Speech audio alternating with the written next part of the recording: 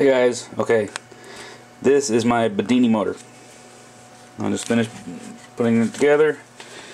Still needs, you know, some cleaning up.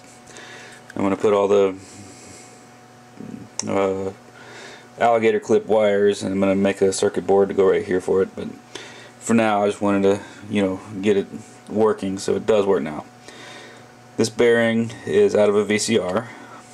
All of this came from from scrap or garage sale. Even this uh, cutting board I found at a garage sale for free. Bearing was from an old VCR. Um, so I have, so I drilled a hole through and mounted it. You can see there is my, there's a diode on the resistor, or a diode and a resistor for my transistor, which is right there which is actually kind of the key to this whole thing. There's a 1K potentiometer, which helps me tune the circuit. Um,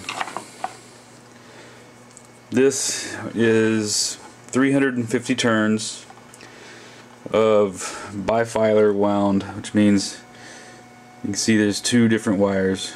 So I wound them both at the same time. Uh, this one came from a an old microwave transformer. Uh, this one came from that same microwave, but it was a smaller transformer in there. I ran out of this one, which is why there's only 350 turns. Still works pretty good though. Um,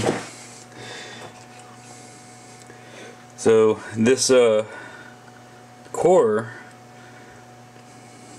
is is actually this. I took apart a, a uh, UPS battery uh, transformer. That's what this came from. And it actually, the transformer itself is right here. So they had a bunch of E-cores, these, that fit in here like that. And then on the other side, are these plates that filled it in. So I just took these plates and threw it those way and made the core for this coil. And uh, pretty happy with it. It, it. As long as it's tight down here, it doesn't rattle too much. And I got the you know zip tied down and I was gonna bolt it down just a might, but okay, so it's my workbench. It's a mess. I'm also in a project of recycling magnet wire and getting, you know, whatever I can, pulling it out and recycling it. But okay, so this is how this works. This battery powers it. It's a 12 volt battery. Both of these came out of a UPS. So this battery powers it. It runs. Um, as the magnets pass the core, it in, uh, induces electrical voltage that comes back and charges this battery. So let's uh, I'll show you what we got right now. You can't really see that. That's not any better. Okay, so on the charge battery, we're at three. I'm just gonna 3, 13 16. So on a power battery, we're at 13 volts. Okay, so I'm gonna leave it there and we'll start it up. All I'll do is take this wire, there. You can see my little neon.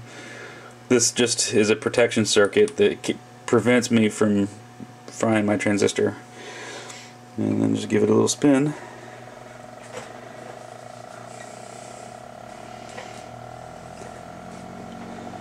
And here it's speeding up.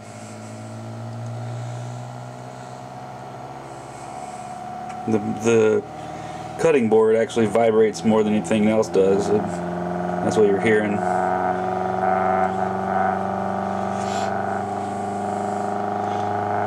speeding up pretty good is what that's running You can see we came down three tenths of a volt, three hundredths of a volt for a power battery, and that will drop as it as it uses the power. And then come on to here.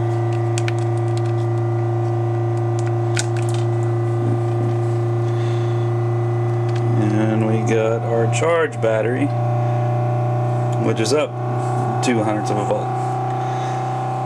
So, and even this thing's still speeding up. It's getting up there now. As you can see, this is going to continue to climb. I mean, the, the battery's fully charged, so it's not going to climb that much, but I guess it is starting to.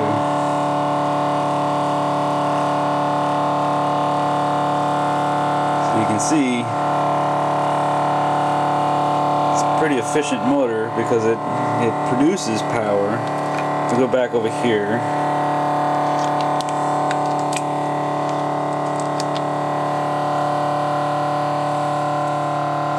So it's, it's not producing it at the same rate but now watch this so this is a completely dead battery so if we put our test on this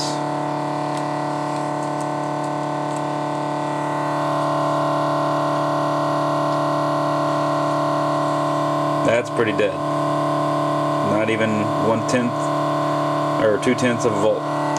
So now watch this. I take this, take the power from here, put it here, take the negative from here, put it here. You hear that RPMs drop just a little bit.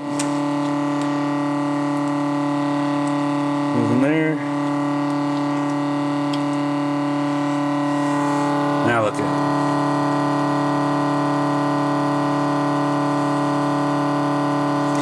So, I mean, you saw it before. This is obviously just a surface charge. I don't really know what this means. But just by hooking this up, I'm getting that much voltage into it. And it did create more of a load on the motor. but it, it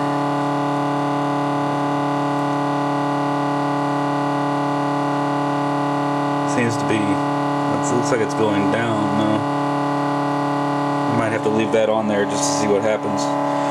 My goal my plan is to build another one of these and either put it right here or put it right here. I'll probably put it right here and then finish the electronics up top.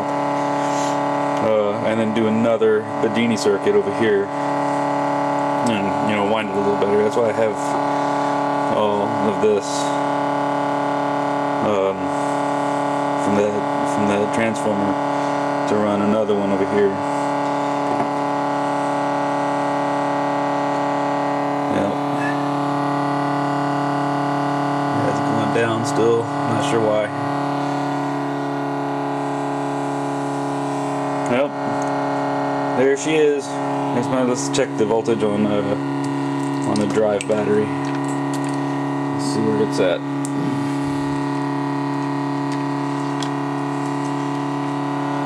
Drive battery.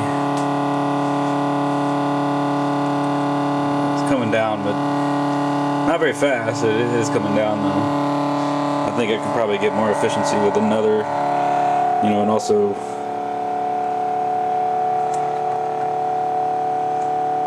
mounting this is a little bit more secure. It's actually speeding up now.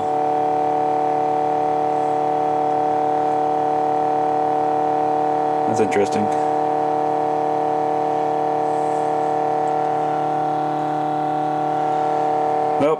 That's it. That's what I'm working on. Thanks for watching.